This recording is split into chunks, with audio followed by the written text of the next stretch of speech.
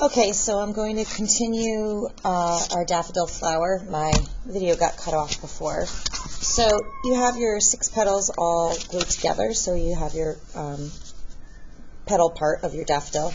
Now you want to take that long piece of orange or white or yellow paper that you have, and you're going to make some nice wide bumps, or bumpy line that goes right along the top, it should touch the top edge. And then on the bottom, you're going to make some vertical lines, maybe about three or four fingers apart. We're going to need those for tabs so that we can glue this down onto our petals. So I'm going to go ahead and cut that out. If you make your bump, bumpy lines too small, it's going to take quite a long time to cut this out. It'll still work. It'll still look nice. Um, it'll just take a little bit longer.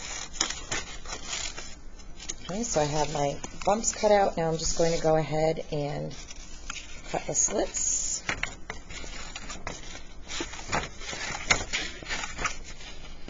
And what you want to do is fold those up so that it's making a line. Those like I said, are going to be our tabs. That's how we're going to glue it to our petals so that it's standing up and it's three-dimensional. Now, I think it's easiest to go ahead and glue that together first. So you're almost rolling it up so it makes like a cylinder. Okay.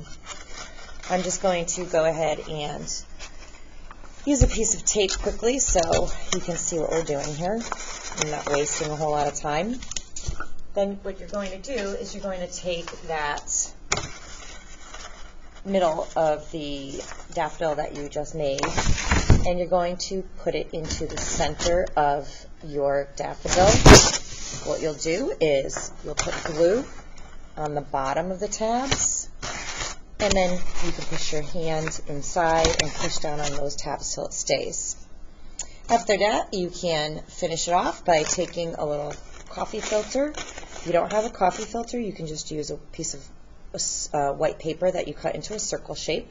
Okay, you can leave it plain white. You can add some color to it if you want. I added color to this one and then actually put some water on it so that it blended together a little bit.